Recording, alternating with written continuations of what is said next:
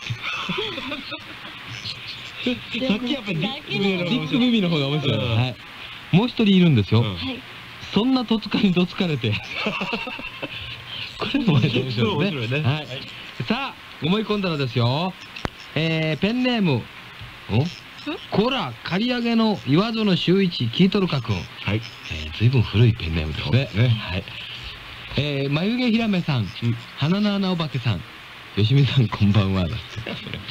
これは前に僕が一人で岡山に行くのに新幹線に乗った時の出来事です、うん、僕の席の前にはえー、中1と小4ぐらいの、えー、兄弟が乗っていました、うん、そして新幹線が姫路に来て姫路城が見えた時弟が「わああれが姫路城かやっぱり綺麗なえー、っとあの城何やったっけ何城を言うたやったっけなって言うと、兄は弟をバカにしたように、お前知らんのかあれな、白鶴城言うねん。弟も、そうそう、それやと納得してました。うんお前らな、列車内という公共の場でアホな会話すんな。白鶴は酒の名前、姫路城の別名は白鳥城や。違うお前も違うっつ。白鷺城。はい、姫路は白鷺城なんで白鳥城や。お前が思い込みやっつんだ。本当に。ダブルですね。そうですね。はい。百姓一発だって。いまいち、いまいち、はい。こんばんは。この前近所のうどん屋へ行った時のことです。僕がきつねうどんを注文してしばらくした時、その店の30ぐらいのおばさんが丼に親指をどっぷり入れてさっそうと歩いてくるんです。うん、僕が、おばちゃん指入ってるやんって言うとおばさん、大丈夫や、熱ないから。こ れ聞いたことある。よくあるぞ、これ。ね。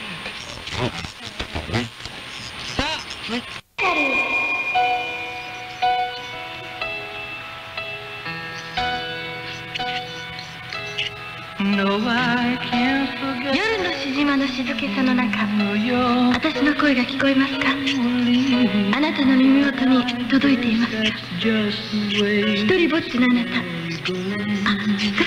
あやだあなたやっぱりダメだった方のひとときを休みだと思と休みちょっと照れて難しいよねこれねいやもうこれもう難しい、うまくいった旅じゃないですねはい来週あたりに期待しましょう全員が息を止めてますよ顔が赤くなってくるんですみんなごめんなさい久しぶりです緊張感はい今日はですね、はい、早速あのおはがきの方をご紹介したいと思うんですけれども、はい、まずですね八尾市にお住まいの平山君からのリクエストの曲で「うん、夏の日の恋に寄せまして、うん、奈良県にお住まいの布浩二君の、臭いセリフを紹介していきたいと思います、はい、それではいきますね吉スペシャル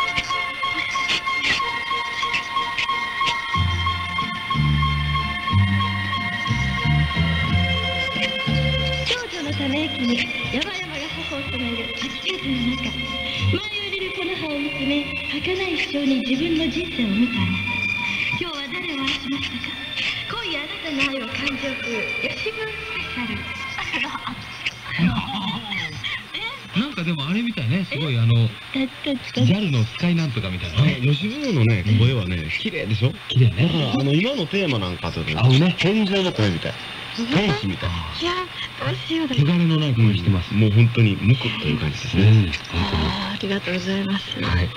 えー、もう一個やるんでしょいや今のそれ彼なんですけれども、はい、あのなかなか面白かったんでね、はい、ヤンタンバッグのプレゼントしちうはい知りますよ、はいはい、そしてあの彼はですね、はい、吉文を口説く臭いラブレターを募集するのはどうですかっていうのを書いてくださったんですけどど、ね、それもなかなかいいんでねあのはがきに書いてね、なんか臭いこうラブレターというか、あの口説きだからおしみちゃんが本当に呼んでて、本当に口説カラになるか、うん、するようなね、うん、ええなんか言いづらいのとか期待してるよ言いづらいのはでも、口説いてみようかなあとそれからですね、うん、輝八83ブースペテーマソング大賞も11月18日にノミネートして、12月の2日に発表になります、はい、すごい商品も待ってますのでお楽しみにしてください、はい、これ大失敗でございますはいなんか言いかけましたわ。いいはい。じゃあ吉の写真、写真やな。ありがとうございます。ごめんね。はい。ペンネームこれなんて読むの？どれ？え？あ、私がいつも言う。あ、あ、そうね。それがペンネームね。あ、僕も一緒に読みに行ったよ。そうか、もう読まれてるか、みんなに。本当に。ちっぺいさん、どうぞ、ゆすぎちゃん、こんばんは。私の失敗を聞いてください。あ、その前に、頭に大体想像しながら聞いてくださいね。どうも大きな声で笑わないでね。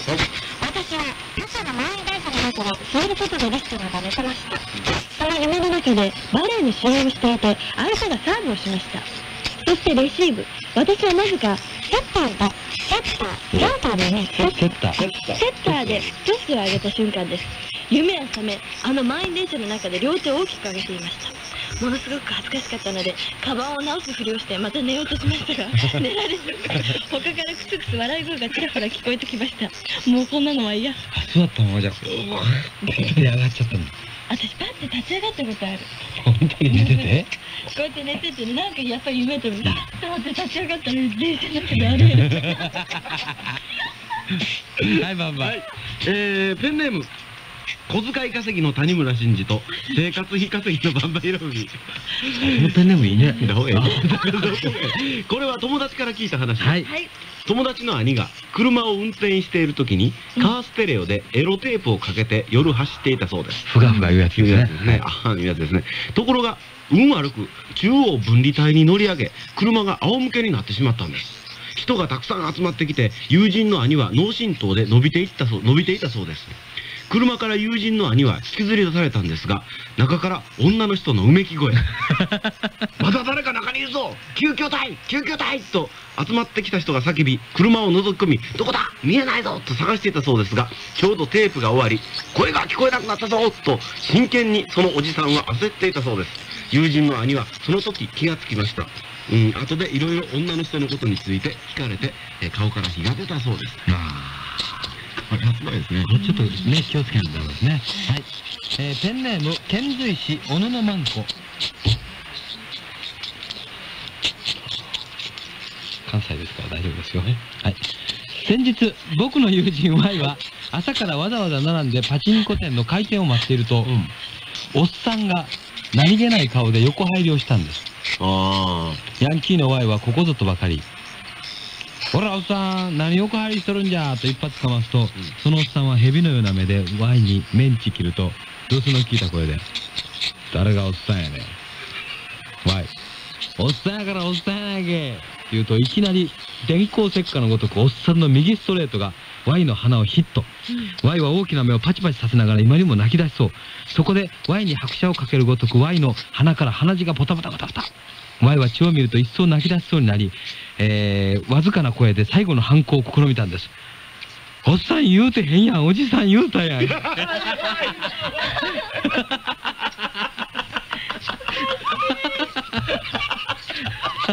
彼はパチンコ屋にもう行きませんやって。行ったらいかん、お前もう。なあ、もう、殴られてほんと泣くんやったら喧嘩打ったらいかん。はい。ということで、またどんどん心に残る大失敗をお便りください。はい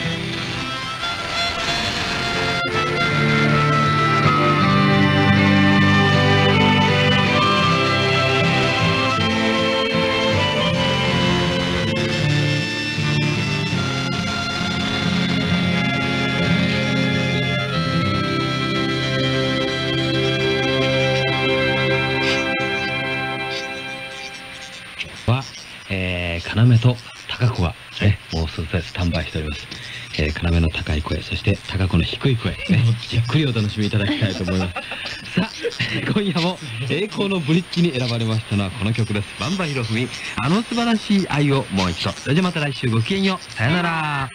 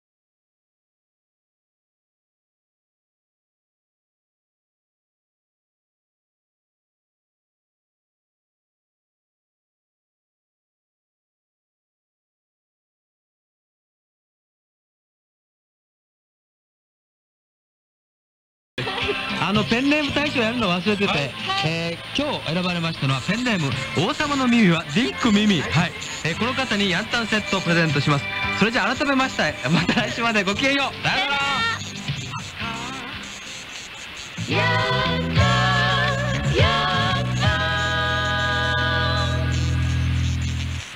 まるでパパのような